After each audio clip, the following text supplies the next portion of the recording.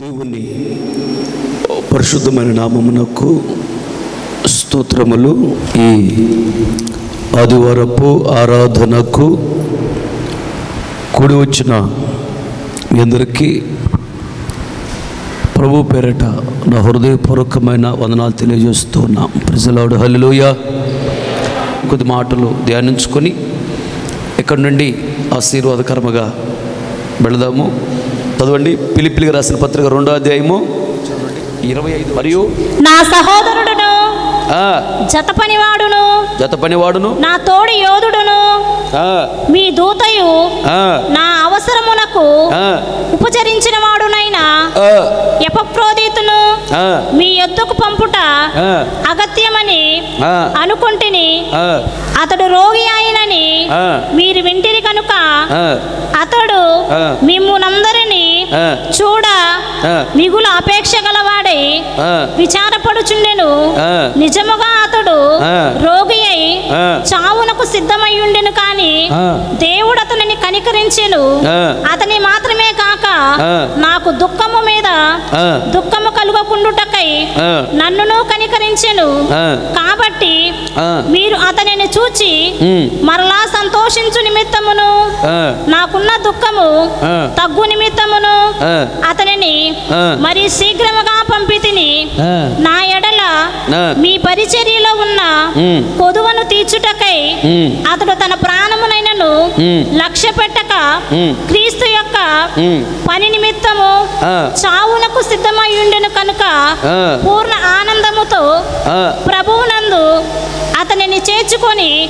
అట్టి వారిని గనపరచుడి అట్టి వారిని గనపరచు చాలు తలలో పైకెత్తి నా వైపు చూస్తూ నా మాటలు గమనించాలి. ఎపప్రదితు గురించి గొప్ప దైవజనుడు అపోస్తలుడును పరిశుద్ధుడును పౌలు గారు నేను క్రీస్తుని పోలి నడుచుకున్న ప్రకారం నన్ను పోలి నడుచుకోండి అని చెప్పిన రోషము కలిగిన సేవకుడు ఒక మంచి సాక్ష్యం చెప్తున్నాడు. ఈ ఎపప్రదితు పిలిపి పట్టణములోని సంఘములో విశ్వాసి అపోస్తున్న పౌలు గారు సువార్తను ప్రకటించకూడదని జైల్లో పెడితే ఆయన దగ్గరికి వెళ్ళి ఆయనకు ఆరోగ్యం బాగలేకపోతే కొంతకాలం ఆయన దగ్గర ఉండి ఆయనకి పరిచర్య చేశాడు.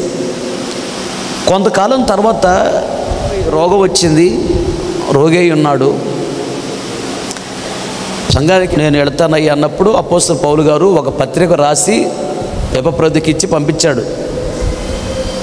ఇప్పటి వరకు ఎపప్రదిత్ నా దగ్గర ఉన్నాడు. చాలా మంచిగా పరిచర్య చేశాడు. మీరు చేయని పరిచర్య కూడా ఆయన చేశాడు. ఆయన వస్తున్నాడు సంఘానికి అని దైవజనుడు ఒక మంచి సాక్ష్యం చెప్పాడు. అలాగే ఇక్కడ కూర్చొని వాక్యం వింటున్నటువంటి కొందరి గురించి నేను సాక్ష్యం చెప్పగలను కొందరి గురించి నేను చెప్పలేను. నీకు బాధ కలిగిన తప్పదు.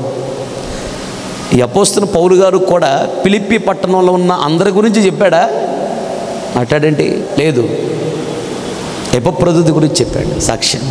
సాక్ష్యము చాలా ప్రాముఖ్యమైనది. సాక్ష్యము లేకపోతే మోక్షము లేదు. ఈ నాలుగు రోజులు సాక్ష్యం కలిగి బ్రతికితే కోట్ల సంవత్సరాలు పరలోక రాజ్యంలో సంతోషంగా ఉంటాం. ఎపప్రతి గురించి నేను నాలుగు విషయాలు చెప్పాను పోయిన వారం.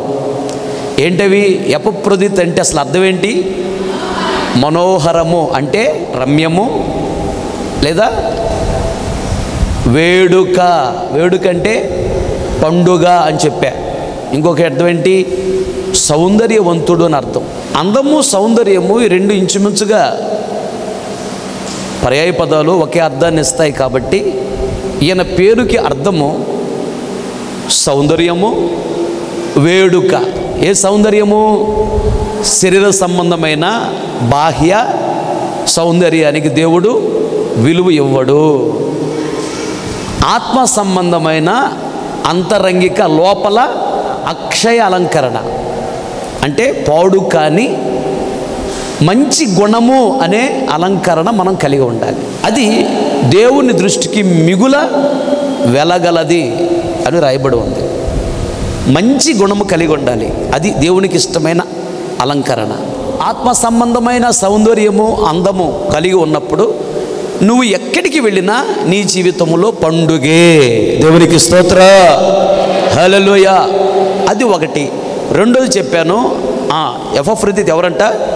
నా సహోదరుడు అన్నాడు. సహోదరుడు అంటే సహ ఉదరము నుండి వచ్చినవాడు. అంటే ఒకే కడుపులో నుండి వచ్చిన వాడిని సహోదరుడు అంటారు. కానీ యఫప్రదిత్తు ఒకే కడుపు నుండి వచ్చిన వాడు కాదు. ఆ మాట ఎందుకన్నాడంటే అపోస్తున్న పౌలు గారు నా రక్తాన్ని పంచుకొని పుట్టిన నా సొంత తమ్ముడు కంటే ఎక్కువగా చేశాడు. అందుకే నా సహోదరుడు అన్నాడు. సేవకుడి దగ్గర నువ్వు అలా ప్రవర్తించాలి. నేను మీ గురించి నా సహోదరి నా సహోదరుడు చెప్పగలగాలి. మూడోదిగా నా జత పనివాడు అన్నాడు. అంటే అపోస్తుల పౌలు గారు చేస్తున్న సేవలో ఆయన కూడా సపోర్ట్గా ఉన్నాడు. అందుకు నా తోటి జత పనివాడు అన్నాడు ఒక విశ్వాసం అలాగే సేవకుడిగా ఈ సేవ అభివృద్ధి కొరకు నేను ముందుకు వెళుతున్నప్పుడు నాకు సపోర్ట్గా ఉండాలి నాకు సహకారంగా ఉండాలి. నాతో కలిసి కష్టపడాలి మీరు. అప్పుడు నేను మీ గురించి సాక్ష్యం చెప్పగలను. నా జత పనివారు అని. నాలుగోదిగా ఏంటంట? నా తోటి యోధుడు. యోధుడు అంటే వీరుడి కన్నా గొప్పవాడు యోధుడు. అపోస్తుల పౌలు గారు ఆయా ప్రాంతాలకు వెళ్ళి సువార్తను ప్రకటిస్తున్నప్పుడు సాతాను శక్తులు విరోధంగా లేచాయి. సాతాను సమ్మన మనుషులు విరోధంగా లేచారు. ఎన్నో ఇబ్బందులు. అలాంటి ఇబ్బందులతో పోరాడుతున్నప్పుడు అపోస్తున్న పౌలు గారు ఈ ఎపప్రదిత్తు దైవజనుడు అపోస్తున్న పౌలు గారు కోసం ఉపవాసులు ప్రార్థన చేసేవాడు. గంటల గంట మోకాళ్ళ మీద ప్రార్థన చేసేవాడు. అందుకని అపోస్తున్న పౌలు గారు అంటున్నాడు ఇతని విశ్వాస అయిన ఒక సేవకుడు వలె నా కొరకు ప్రార్థన చేస్తూ ఉన్నాడు. నేను పోరాడుతూ ఉంటే నాతో కలిసి పోరాడుతున్నాడు. అలా అలాంటి సాక్ష్యాన్ని సంపాదించుకోవాలి. ఆమెన్. హలలోయ అలాగే మరికొన్ని విషయాలు చాలా క్లుప్తంగా చెప్పి నేను ముగిస్తాను. ఇంకొక మాట అక్కడ పిలిపిలికి రాసిన పత్రిక రెండోది ఇరవై ఐదో వచ్చినంలో మరియు మరియు? నా సహోదరుడును జత పనివాడును. నా తోడి యోధుడును. మీ దూతయు. అదుగో అపోస్తన పౌలు గారు ఎపప్రదితుని పిలిప్పి పట్టణంలో ఉన్న సంఘంలోకి పంపిస్తూ పత్రిక రాసి పంపిస్తున్నాడు. ఆయన చేతికిచ్చి పంపిస్తున్నాడు పత్రిక. సంఘముని పత్రిక చదివి వినిపించు అని. అయితే పత్రిక రాసేటప్పుడు అంటాడు నా సహోదరుడు అన్నాడు. సాక్ష్యం చెప్తున్నాడు ఆయన గురించి. నా జత పనివాడు అన్నాడు. మూడవదిగా నా తోటి యోధుడు అన్నాడు. అలాగే ఇంకొక విషయం ఏమంటున్నాడంటే ఎపప్రదుతి గురించి అపోస్తున్న పౌలు గారు ఏమంట? మీ దోత. దేవునికి స్తోత్ర. దోతలు అనగానే మనం ఏమనుకుంటాం? దేవుని దగ్గర ఉన్న వాళ్ళే దోతలు అనుకుంటున్నాం. ఇంచుమించుగా ఐదు రకాలుగా ఉన్నారు దోతలు. దేవుని దగ్గర దోతలు. ఎవరు అంటే? గాబ్రియేలు. గాబ్రియేల్ అంటే సందేశాన్ని అందించే దోతలను గాబ్రియల్ అంటారు. దయాప్రాప్తురాల నీకు శుభమని మరేమో చెప్పాడు. సందేశాన్ని అందించే దూతలు. అలాగే దేవుని దగ్గర ఆరు రెక్కలు కలిగి రెండు రెక్కలతో మొక్కను కప్పుకుంటూ రెండు రెక్కలతో కాళ్ళను కప్పుకుంటూ రెండు రెక్కలతో ఎగురుతూ పరిశుద్ధుడు పరిశుద్ధుడు పరిశుద్ధుడు గాల ప్రతిగానములు చేస్తూ ఉంటాయి. వీటిని శరాపులు అంటారు. దేవుణ్ణి స్తుతించే దూతలు. మూడోది కెరూబులు. ఆదాముని అవ్వను బయటికి పంపించి అక్కడ ఏం పెట్టాడు? కాపలా? కెరూబులను పెట్టాడు. కాపలా కాసేటువంటి దేవదూతలను కెరూబులు అంటారు. మూడోది నాలుగోది యుద్ధము చేయటానికి వెళ్ళే దూతలు మికాయేలు రఫాయేలు. మికాయేలు రఫాయేలు యుద్ధం చేస్తాయి. దేవుని దగ్గర ఉన్న దోతలు ఇవి. మనకు ఆ దూతలే తెలుసు కానీ బైబిల్ ప్రకారము నడిపించే సావుకుడు కూడా దూత. దేవుడు చెప్పిన విషయాలు మీకు చెప్తాను మీరు చెప్పే విషయాలు దేవునికి చెప్తాను నేను. అయితే ఐదు రకాల దూతలు ఉన్నారా? ఇప్పుడు ఆ ఐదు రకాల దూతలు చేసే పనులు ఇప్పుడు నేను చేయాలి ఇక్కడ. సాతాను శక్తులతో యుద్ధం చేయాలి దేవుణ్ణి స్థుతించాలి సంఘాన్ని కాపాడుకుంటూ ఉండాలి నా జీవితాన్ని కాపాడుకుంటూ ఉండాలి దేవుడిచ్చిన సందేశం మీకు చెప్పాలి. అయితే యపప్రదితుని పిలిపి పట్టణం ఉన్నటువంటి సంఘానికి పంపిస్తూ ఆ సంఘం విశ్వాసే. అపోస్తున్న పౌలు గారు అంటున్నాడు సంఘ విశ్వాసులతో మీ దోత. దేవునికి స్తోత్ర. హలలోయ అంటే ఒక విశ్వాసి దోతలాగా పని చేయాలి అని అర్థం. ఎప్పప్రతి విశ్వాసే కదా? దోతలాగా పని చేస్తున్నాడంట. సంఘములో నువ్వు ఒక దోతలాగా ఉండాలి. దోత ఏం చేస్తాడు? చదువు నా మాటలు. సామెతల గ్రంథము ఇరవై ఐదో అధ్యాయము పదమూడో వచనం.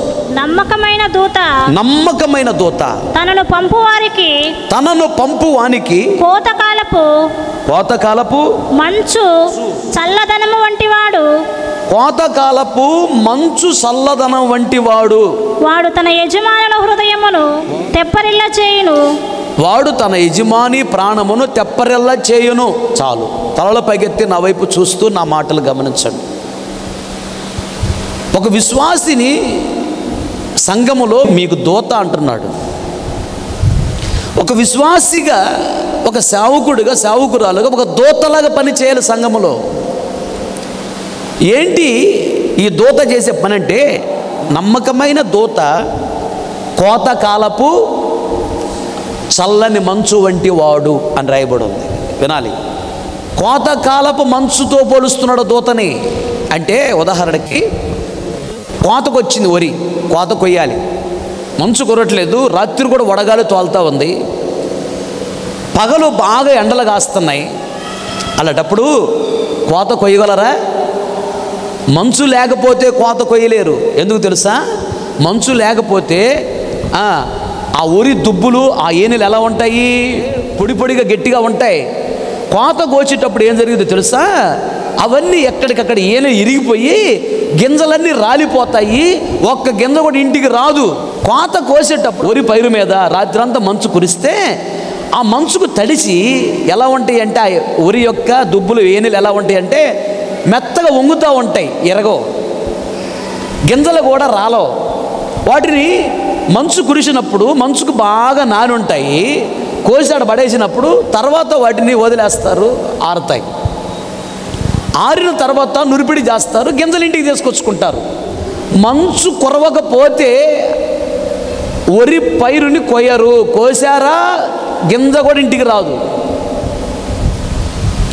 కనుక కోత కొయ్యాలి అంటే మంచు కురవాలి. మంచు కురిసినప్పుడే గింజలు క్షేమంగా ఇంటికి వస్తాయి. ఈ మంచు పరిశుద్ధాత్మ దేవునికి సాదృశ్యంగా ఉన్నాడు.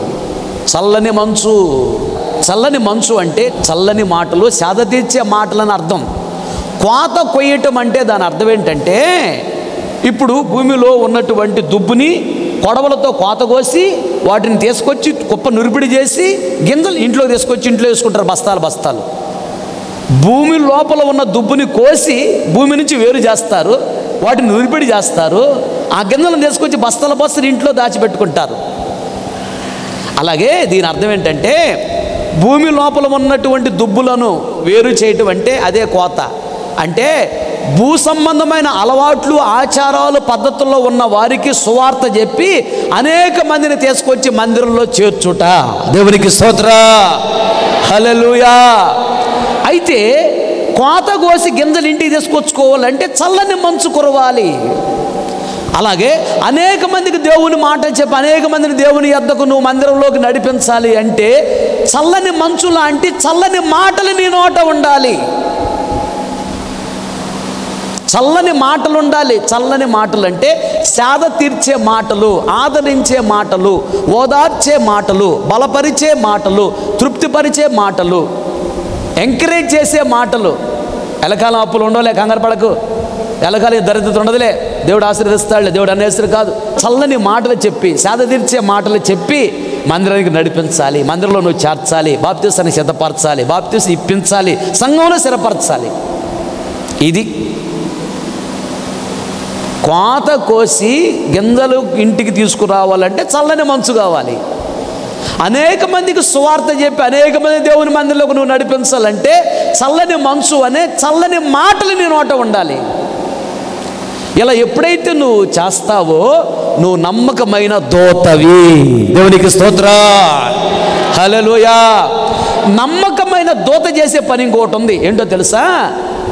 పంపినటువంటి యజమానుడు యజమానుడి నీ యొక్క ప్రాణమును తెప్పరల్లా చేస్తాడంట నమ్మకమైన దోత. యజమానుని ప్రాణమును తెప్పరల్లా చేయుటంటే సేద తీర్చుట. యజమానుడి ప్రాణమును సేద తీర్చాలి. యజమానులు నాలుగు రకాలని చెప్పా. ఒకటి మన పరలోకపు తండ్రి మనకి యజమాని రెండోది సంఘాన్ని నడిపించే సేవకుడు నీకు యజమాని మూడోది నీ కట్టుకున్న భర్త నీకు యజమాని. నాలుగోది నువ్వు ఉద్యోగం చేసే చోట వ్యాపారం చేసే చోట పంట పొలాలకు వెళ్ళిన చోట నీపై అధికారులు ఉంటారు. వాళ్ళు నీ పైన యజమాని. నాలుగు రకాల యజమానులు ఉంటారు. ఈ నాలుగు రకాల యజమానుల దగ్గర నువ్వు లోబడి ఉండాలి. తగ్గించుకొని ఉండాలి. అణిగిమెనిగి ఉండాలి. అప్పుడే నువ్వు దీవించబడతా పరలోక రాజ్యంలో ప్రవేశిస్తావు. నమ్మకమైన దోత తన యజమాని ప్రాణానికి అంటే ఏం చేస్తాడంట? తెప్పరలా చేస్తాడు. సేద తీరుస్తాడు. మీకు అర్థమయ్యేటట్టు చెప్తా. మీ యజమానిగా నా ప్రాణాన్ని మీరు తెప్పరల చేయాలి. సేద తీర్చాలి. ఉదాహరణ మీకు అర్థమయ్యేటట్టు చెప్తా. మీలో కొందరు నా ప్రాణాన్ని మీ ప్రవర్తన ద్వారా మీ మాటల ద్వారా నా ప్రాణము సేద తీర్చబడుతుంది. మీలో కొందరు నా ప్రాణాన్ని దుఃఖపరుస్తున్నారు బాధపడుతున్నారు. మీ యజమానిగా నా ప్రాణాన్ని మీరు సేద తీర్చేవారుగా ఉండాలి. సంతోషపెట్టేవారుగా ఉండాలి. నమ్మకమైన దూతలాగా పనిచేయాలి. ఏసన్న గారు చనిపోవటానికి సిద్ధంగా ఉన్నాడు మనసులో ఉన్నాడు. ఉన్నప్పుడు పెద్ద పాస్టర్లు అక్కడ ఉంటే నా గురించి మాట్లాడుతూ మాట్లాడుతూ ఏసన్న గారు ఏమన్నాడంటే ఆ జాన్ పీటర్ పాస్టర్ని ఏ సంఘానికి పంపించినా నేను గుండె మీద చేసుకుని నిద్రపోతారా? వాడు సేవ బాగా చేస్తాడు. ప్రజలాడు హలలోయా హలలోయా వాడు పాడైపోడు సంఘాన్ని పాడు చేయడు. తన జీవితాన్ని కాపాడుకుంటాడు సంఘాన్ని కాపాడుతాడు. కొత్తగా కొందరు విశ్వాసులు వచ్చినప్పుడు ఇక్కడ మందిరంలో ఉన్నటువంటి విశ్వాసులతో కలిసి తిరుగుతుంటే నా గుండెల దడబుట్టిద్ది ఎందుకు తెలుసా? వామ్మో! ఆ కొత్తకొచ్చిన విశ్వాసి ఏమంతో తిరుగుతుంది? అది ఏమనవరం మంచిది కాదు.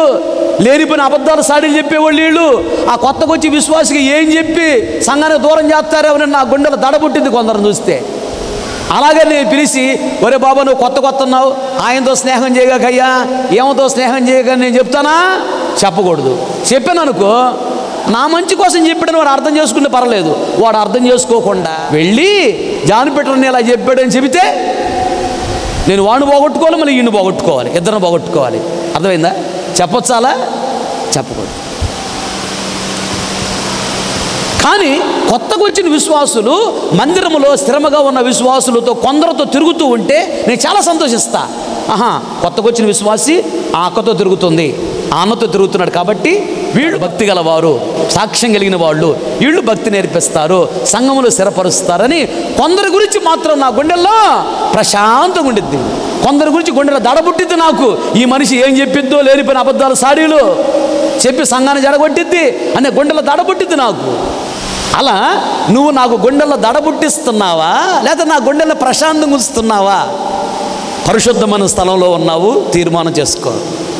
ఇక్కడి నుంచి ఆయన మారితే దేవుడు దీవిస్తాడు పరలోకరాజ్యం ఇస్తాడు.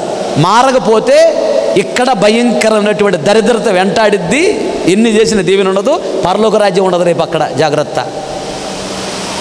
నువ్వు నమ్మకమైన దూతగా ఉండు ఉండి కోత కాలములో చల్లని మంచు ఏ విధంగా ఆ గింజలన్నీ ఇంటికి రావటానికి సహాయపడుతుందో చల్లని మాటలు చెప్పి సాధతీర్చే తీర్చే మాటలు చెప్పి ఆదరణ గారి మాటలు చెప్పి అనేక మందిని దేవుని మందిరానికి నడిపించే నమ్మకమైన దూతగా పనిచేయి. సంఘాన్ని చెడగొట్టగాక సంఘాన్ని చెడగొడితే ఎవరు సంఘాన్ని చెడగొడతారో దేవుడు వాళ్ళ వంశాన్ని చెడగొడతాడు. నా ఆలయాన్ని పాడు చేసిన వారిని నేను వాళ్ళని పాడు చేస్తానన్నాడు కదా ఆలయంలో ఉండేది సంఘమే కదా. ఈరోజు నీకు సరదాగా నడిద్ది దేవుడితో ఆటలు కాదు రోషమ గలవాడు పరాక్రమం గలవాడు. అలా ఉన్నావేమో సరి చేసుకో పశ్చాత్తపడు. ఇక నుంచి నమ్మకమైన దూతలాగా పనిచేయి. అనేక మందికి దేవుని మాటలు చెప్పి అనేక మంది దేవుని అతను నడిపించు. నమ్మకమైన దూతలాగా నువ్వు పనిచేయి.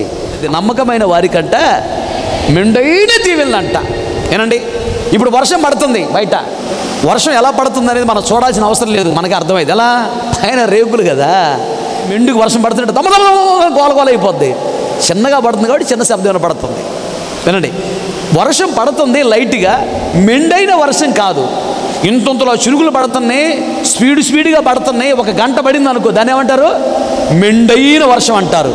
మెండైన వర్షం ఒక గంట కురిసిందా? ఏం జరిగింది కొంటలు నిండుతాయి చెరువులు నిండుతాయి కాలువలు నిండుతాయి నదులు నిండుతాయి. అర్థమైందా? ఆ తర్వాత పంటలు బాగా పండుతాయి. పక్షులు బ్రతుకుతాయి జంతువులు బ్రతుకుతాయి మనుషులు బ్రతుకుతారు. చూసావా?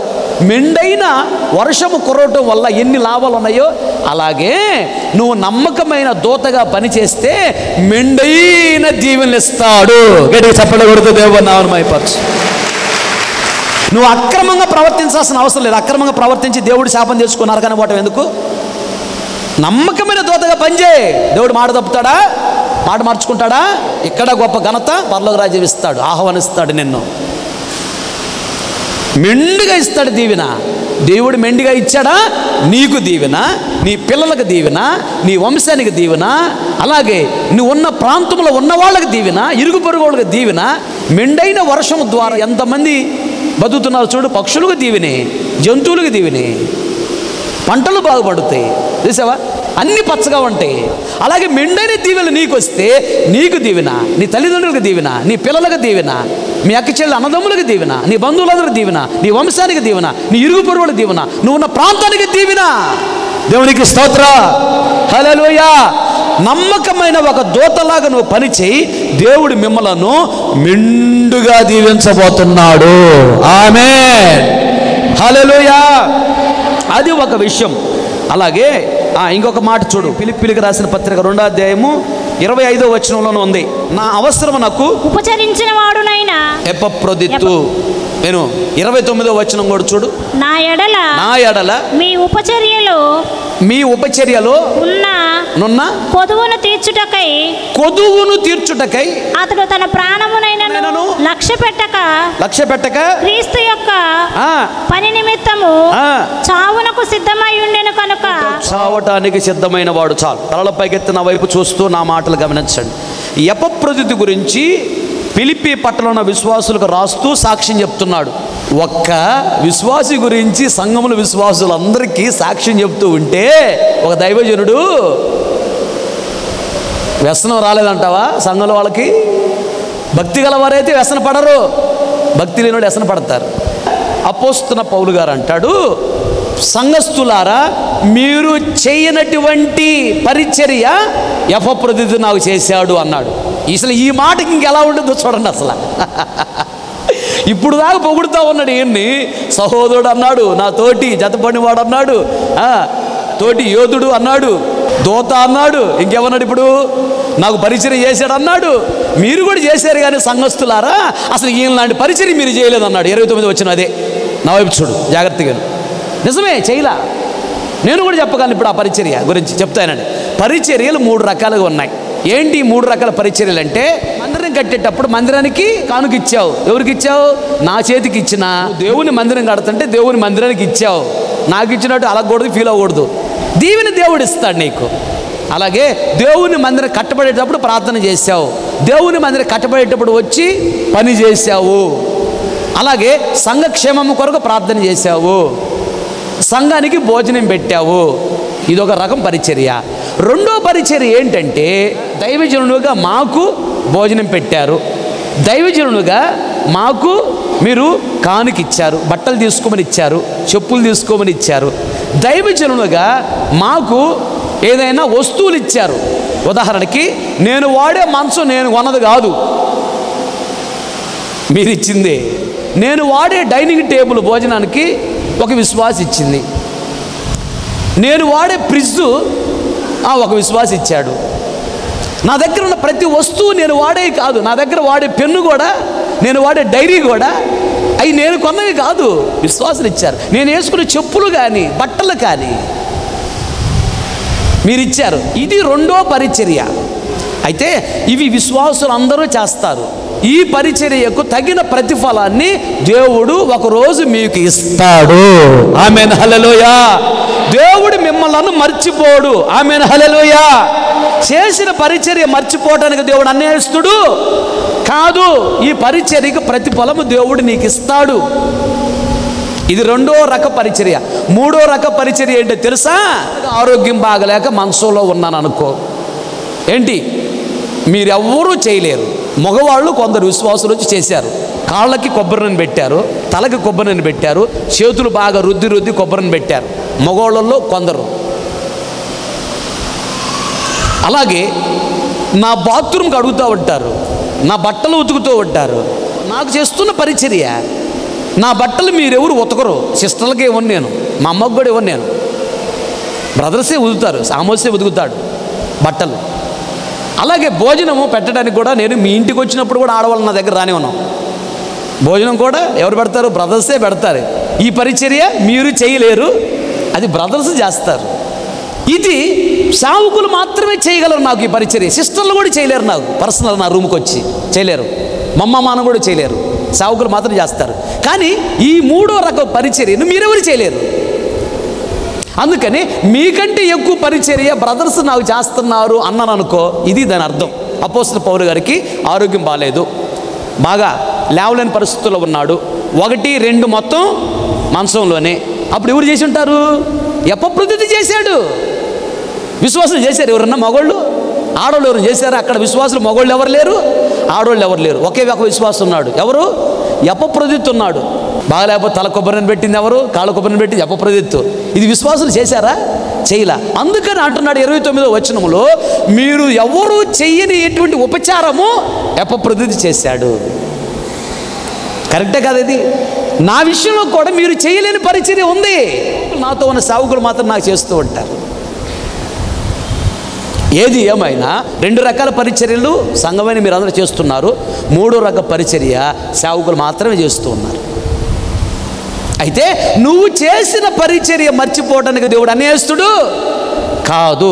తగిన ప్రతిఫలాన్ని దేవుడు ఒక రోజు నీకు ఇస్తాడు. ఆమె చెప్పాలి గట్టిగా హలలోయ అందుకు అపోస్తున్న పౌలు గారు ఎప్పప్రదుతి గురించి మాట్లాడుతూ మీరు పరిచర్య చేశారు మీరు చేయలేనటువంటి పరిచర్య మీరు చేయని పరిచర్య నాకు కొదువుగా ఉన్నది. అది అపప్రతిది చేశాడు అన్నాడు. దానికి వ్యసనం ఎందుకు? వ్యసన పడకూడదు. నిజమే కదా చేసింది? అది వాస్తవమే కదా? దేవునికి స్తోత్ర. చెప్పల గట్టిగా హల్లెలూయా. అలాగే పిలిపిలికి రాసిన పత్రిక నాలుగో అధ్యాయము పద్దెనిమిది పంతొమ్మిది వచ్చినాలు నాకు సమస్తమును సమృద్ధిగా కలిగి ఉన్నది. నాకు సమస్తమును సమృద్ధిగా కలిగి ఉన్నవి. మీరు పంపిన వస్తువులు మీరు పంపిన వస్తువులు. యహప్రోదితు వలన యపప్రదితు వలన పుచ్చుకొని పుచ్చుకొని ఏమీ తక్కువ లేక ఉన్నాను. అపోస్తల పౌలు గారు అంటున్నాడు పిలిపి పట్టణ విశ్వాసులతో మీరు పంపించిన వస్తువులు ఎపప్రదికి ఇచ్చి పంపించారు అవన్నీ తీసుకున్నాను. నాకు ఏమీ తక్కువ లేకుండా సమృద్ధిగానే నేను ఉన్నాను అవి మనోహరమైన అవి మనోహరముగా ఉన్నాయి అందముగా ఉన్నాయి మీరు పంపించినటువంటివి. ఆ తర్వాత సువాసనయు సువాసనగా ఉన్నాయి. మంచి సాక్ష్యం నీ గురించి మంచి సాక్ష్యం చెప్పేటట్లుగా మంచి మంచి వస్తువులు నాకు పంపించారు అంటున్నాడు అపోస్తల పౌలు గారు విశ్వాసులతో.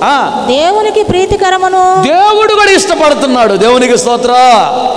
హల్లెలూయా. ఆ తర్వాత? ఇష్టమునైన. యాగమునై ఉన్నది యాగమునై ఉన్నవి. కాగా కాగా? దేవుడు తన ఐశ్వర్యము చొప్పున దేవుడు తన ఐశ్వర్యం చొప్పున క్రీస్తు యేసునందు క్రీస్తు యేసునందు మహిమలో మహిమలో మీ ప్రతి అవసరమును మీ. ప్రతి అవసరత తీర్చును. తీర్చును కొడిగడిగా చెప్పట్లు. Amen hallelujah. సంఘ అభివృద్ధి కొరకు పరిచర్య చేశావు. మందిరం కట్టబడటానికి పరిచర్య చేశావు. సావుకులముగా మాకు మీరు పరిచర్య చేశారు. లేదా పర్సనల్గా సావుకుడికే పరిచర్య చేస్తున్నావు. ఈ పరిచర్యలు నువ్వు చేసావు నువ్వు పంపించిన ప్రతి వస్తువు అపోస్తన పౌలు గారు అంటున్నాడు. పిలిపి పట్టణ విశ్వాసులకి పత్రిక రాస్తూ. ఎపప్రదిత్తు నా దగ్గరకు వచ్చేటప్పుడు పిలిపి పట్టణం నుండి. పాస్టర్ గారి దగ్గరికి వెళ్తున్నావా? ఈ కానుకి పాస్టర్ గారికి. ఇదిగో ఈ బట్టలు పాస్టర్ గారికి. ఈ స్వెటర్ పాస్టర్ గారికి. ఈ దుప్పటి పాస్టర్ గారికి. పాస్టర్ గారి దగ్గరికి వెళ్తున్నావా?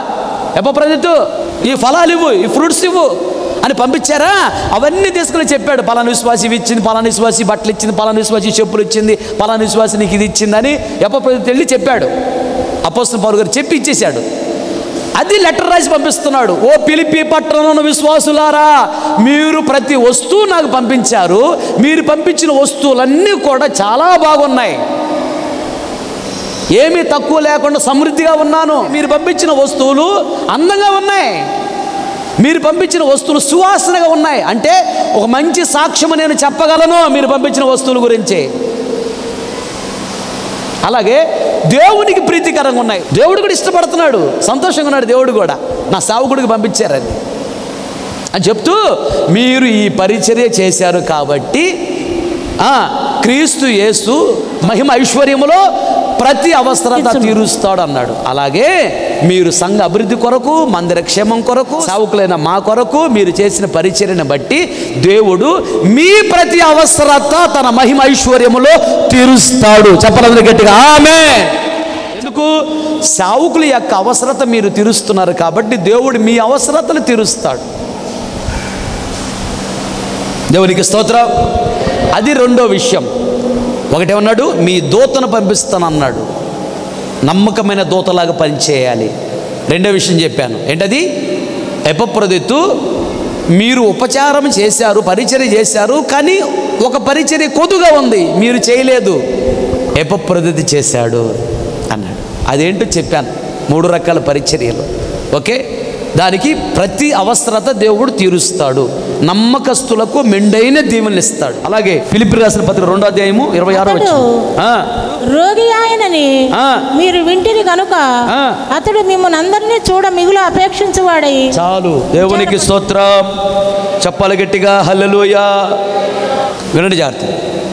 మూడోదిగా ఎఫ్రోదితి గురించి మంచి సాక్ష్యము చెబుతూ పత్రికలు రాసి పంపించాడు పిలిపి పట్టణ విశ్వాసులకి.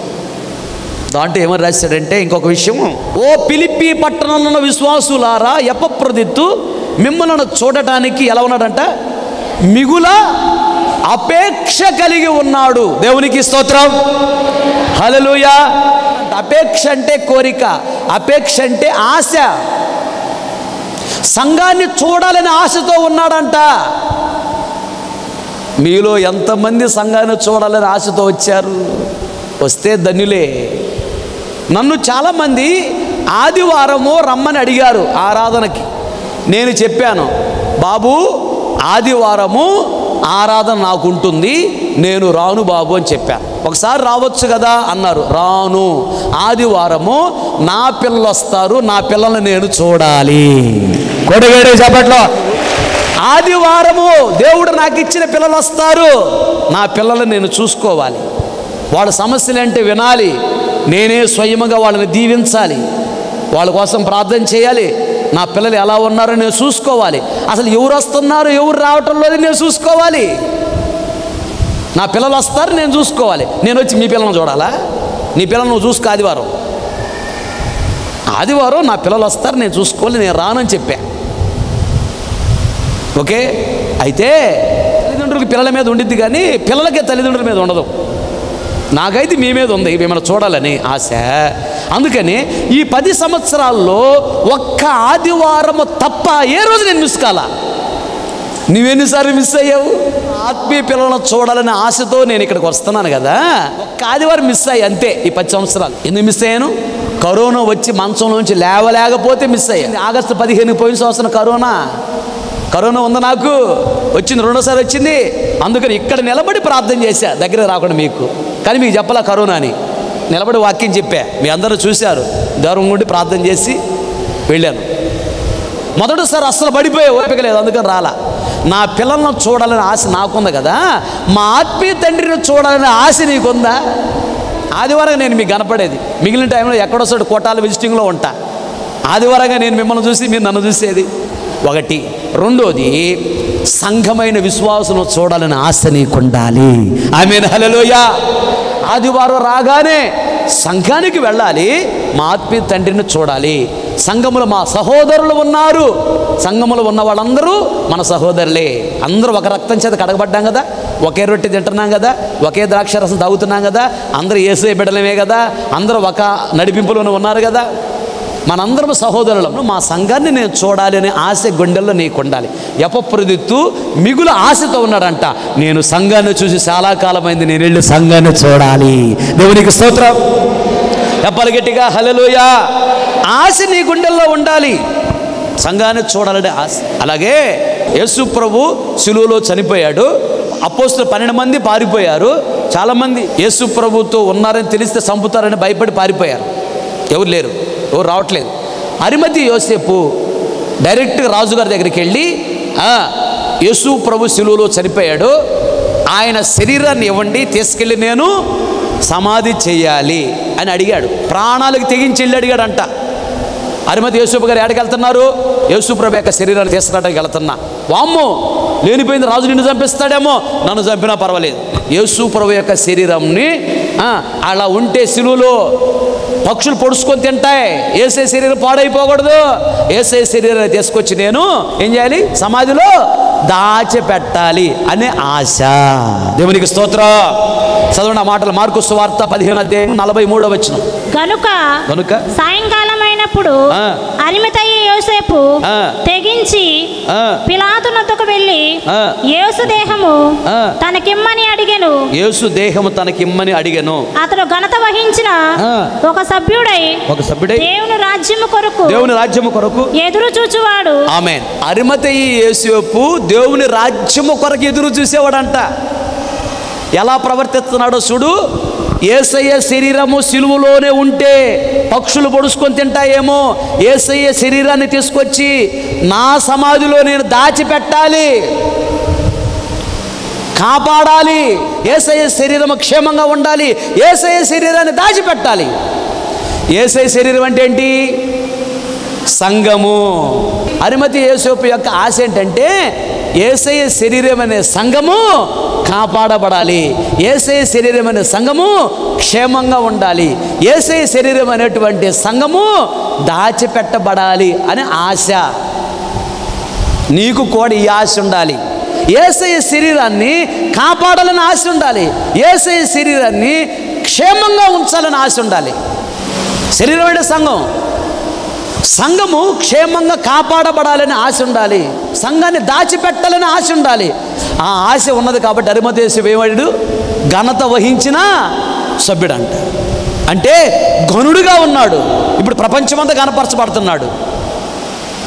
ఏసయ్య శరీరం అనే సంఘము కాపాడబడాలి దాచిపెట్టబడాలి క్షేమంగా ఉండాలని ఆశపడినవాడు కాబట్టి ప్రపంచంలోనే కనపరచబడ్డాడు దేవుని రాజ్యంలో ఉన్నాడు. ఆమె హలలోయా నీకు కూడా ఈ ఆశ ఉండాలి. ఎప్పప్రదిద్దుకున్నది ఆశ?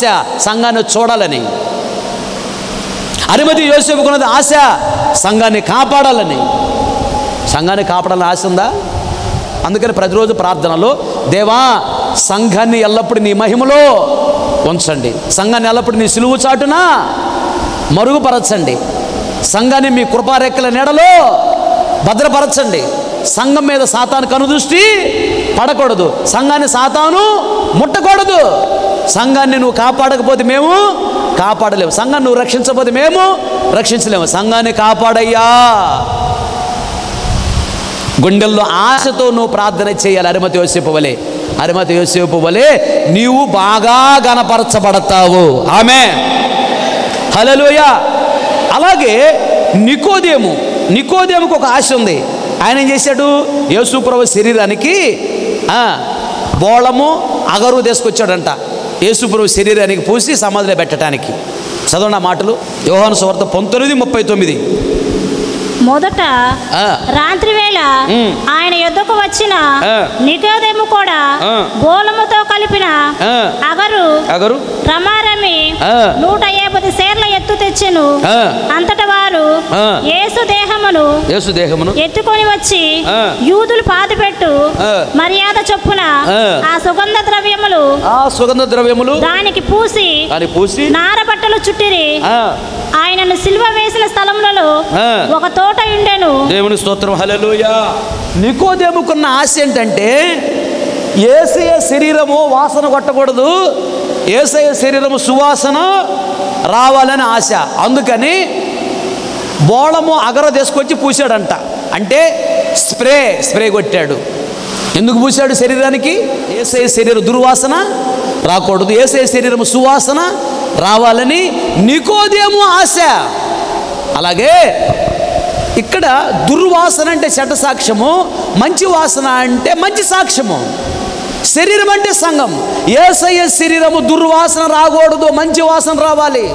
ఏసయ్య శరీరం అనే సంఘానికి చెడు సాక్ష్యం ఉండకూడదు సంఘానికి మంచి సాక్ష్యం రావాలని ఆశ నీ గుండెల్లో ఉండాలి. దేవునికి స్తోత్ర. హలోయ ఈ మాట చదవండి ముగించుకుందాం. అపోస్తున్న పౌలు గారి యొక్క ఆశ ఏంటో చూడు. టెస్టలోనికి రాసినటువంటి మొదటి పత్రిక నాలుగో అధ్యాయము పదహారు పదిహేడు వచనాలు. ఆర్భాటముతోను ప్రధాన దూత శబ్దముతోను ఆర్భాటముతోను ప్రధాన దూత శబ్దముతోను దేవుని బోరతోను దేవుని బోరతోను పరలోకం నుండి పరలోకము నుండి ప్రభు దిగివచ్చును ఆ. క్రీస్తునందుండి. మృతులైన వారు.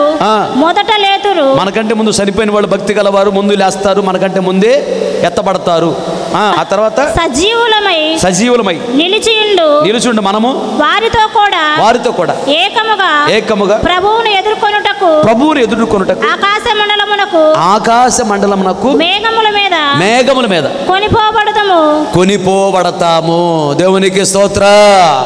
అపోస్తల పౌలు గారి ఆశ ఏంటంటే ఏసయ్య మధ్యాకాశానికి వస్తాడు మనకంటే ముందు సరిపోయిన భక్తి గల వారు ఉన్నారే. మనకంటే ముందు వాళ్ళు లేస్తారు. వాళ్ళు లేచి యేసు ప్రభు దగ్గరికి వెళ్తుంటారు మధ్యాకాశానికి.